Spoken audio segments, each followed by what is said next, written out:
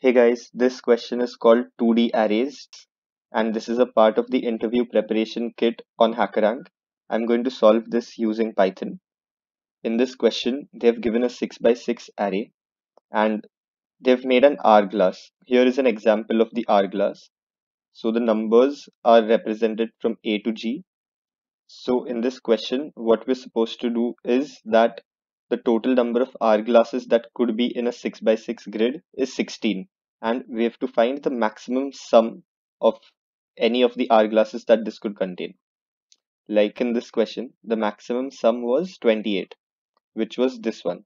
So even this square has an hourglass of minus 9s, but that is the biggest negative hourglass of minus 63. So this can't be the max hourglass sum, right? So in this question, we have to write this function called hourglass sum, and it has an input called array, ARR, which has a size of 6 by 6, which is given below. Before we start with the question, let's see this example here. So in this question, there is this one hourglass of 1s here. Even this is considered as an hourglass, 100202.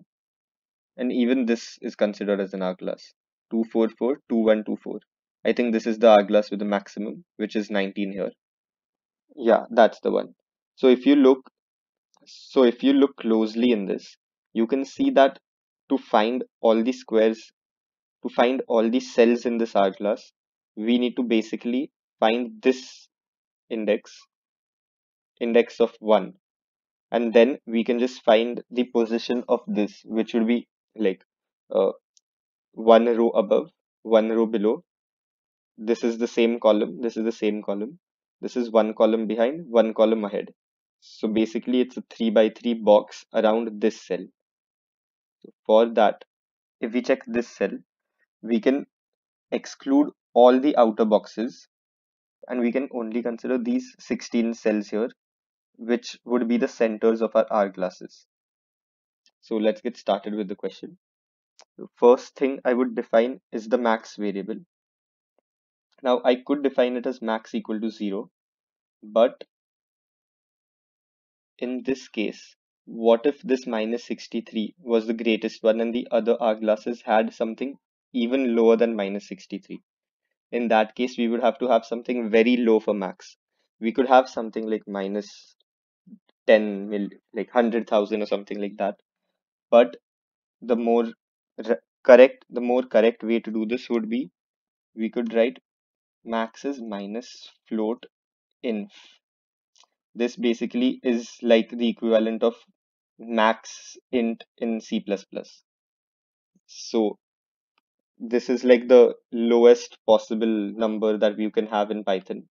So obviously any number that we get in the sum would be greater than this and it would soon replace this. So we can initialize a sum called 0 and 0 is greater than minus infinity. So the, in the first iteration where we compare it, this will exceed this and max would be replaced by 0. So after this, we can run a for loop. And the range would be 1 to 5 because here this is from 0 to 5. 1, 2, 3, 4, 5, 6. It's from 0 to 5. And since we're counting from this index till this index, which is from 1 to 4 in Python doesn't count the last digit here. So it giving this 5 means it's up to 5. It's not including 5. So that's from 1 to 4. And similarly, another loop for j in range 1 to 5. We can actually uh, have sum here and not here because we are taking the sum for every individual hourglass and not the total sum here. So this would be better. Otherwise, it would always keep adding to the sum and not like the final answer would always be the maximum, but it would not be the sum of our hourglass. So we would initialize it inside.